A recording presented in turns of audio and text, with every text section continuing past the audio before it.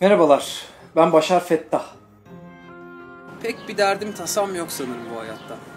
Fettah ailesinin içinde yaşamdan keyif almayı bilen, gününü gün eden kim var diye soracak olursanız, sorgusuz sualsiz o ben çıkarım. Çalışmak pek bana göre değil. Yani daha önce hiç çalışmadım. E, umuyorum bundan sonra da çalışmaya ihtiyacım olmaz. E, müthiş ailemin müthiş parası bana yetiyor çünkü. Yani aslına bakarsanız Başar isminin hakkını veremediğim tek alan iş hayatı sanırım. Ofisin yolunu bile GPS'te buluyorum hala. Ben güzel kadınlardan hoşlanırım.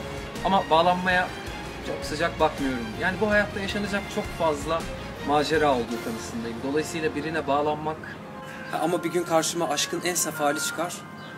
O zaman ne olur bilmiyorum ama o zamana kadar Dolce Vita.